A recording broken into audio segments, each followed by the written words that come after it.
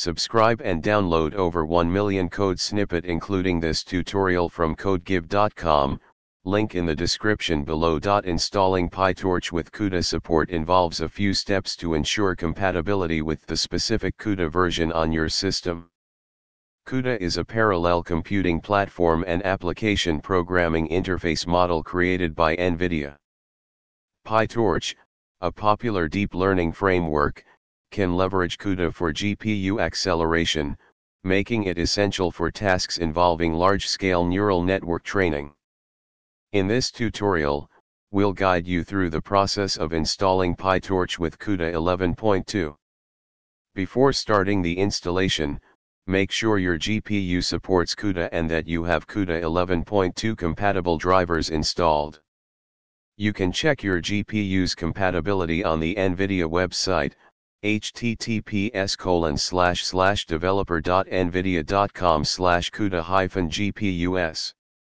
Download and install the CUDA Toolkit 11.2 from the NVIDIA website, https colon slash slash developer.nvidia.com slash CUDA hyphen downloads. Follow the installation instructions for your operating system.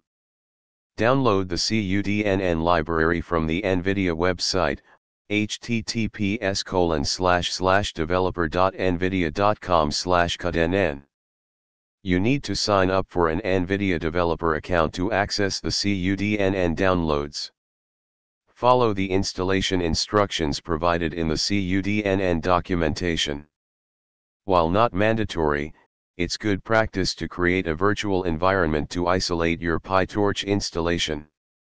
Use the following commands to create and activate a virtual environment using virtualenv. Once your virtual environment is activated, you can install PyTorch with CUDA support using the following command. This command specifies the PyTorch version compatible with CUDA 11.2, along with Torch Vision and Torch Audio. After the installation is complete, open a Python shell and verify that PyTorch recognizes your GPU.